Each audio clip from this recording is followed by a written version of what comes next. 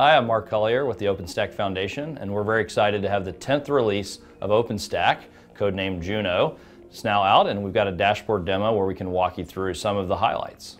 OpenStack is a platform for managing all of the resources in your data center, the compute, storage, networking.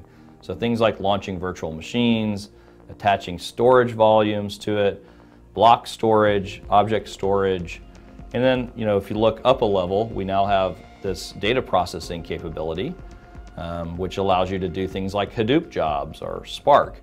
And you know, this is a, a new territory for OpenStack, um, and it's really uh, catering to a lot of the needs that we hear from users about the common tasks they want to automate. Another example of that would be the database as a service component, which is codenamed Trove. So that's helping you automate a, a very common task that everyone has, which is managing, deploying, operating databases. And so these are just a few of those capabilities that you see in the OpenStack Juno release.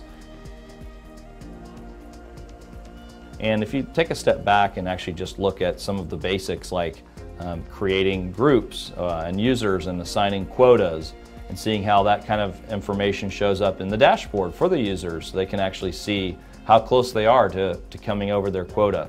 You know, those are all uh, usability things that you expect in any cloud platform, and you can see them here in the OpenStack dashboard.